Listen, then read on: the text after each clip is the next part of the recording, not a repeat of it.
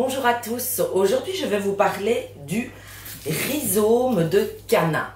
Alors, qu'est-ce que c'est un rhizome? C'est une racine euh, qui se trouve évidemment dans le sol. C'est différent d'un bulbe.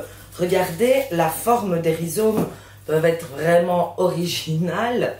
Euh, celui-ci est un rhizome qui a déjà été récupéré euh, une seconde année. Alors, les rhizomes de canna, vous pouvez les mettre après les gelées, en pleine terre ou en pot. Alors, si c'est en pleine terre, ils auront tendance à aller mieux, euh, ils seront plus beaux, mais vous pouvez aussi faire de très jolis potés euh, avec simplement euh, du terreau. Alors, pour que ça fonctionne bien, le canna, il faut beaucoup d'humidité. Donc, vous pouvez même les préparer un peu à être mis dans le sol en les mettant déjà dans un terreau très humide.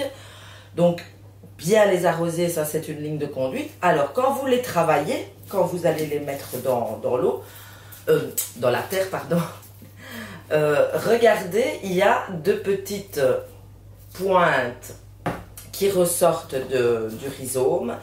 Bien entendu, il faudra le mettre dans la terre avec la petite pousse vers le haut. Alors les canins, c'est quoi? Sont des grandes plantes qui peuvent parfois même monter jusqu'à 2 mètres. Il y a des variétés avec des feuilles panachées, il y a des variétés avec des feuilles pourpres, des fleurs jaunes, des fleurs rouges, des fleurs oranges. C'est très très joli. On voit souvent ça au milieu d'un massif. Euh, ça fait de belles grandes feuilles. Euh, c'est vraiment très très joli. L'inconvénient d'un rhizome, c'est comme le dahlia, il faut les bouger quand il y a de fortes gelées.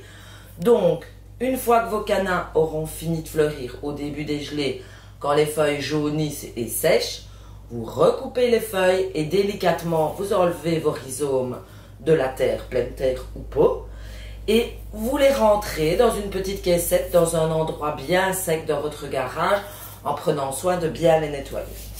Voilà, euh, quelques petites explications sur le canard et j'espère que vous aurez l'occasion d'en mettre dans votre jardin.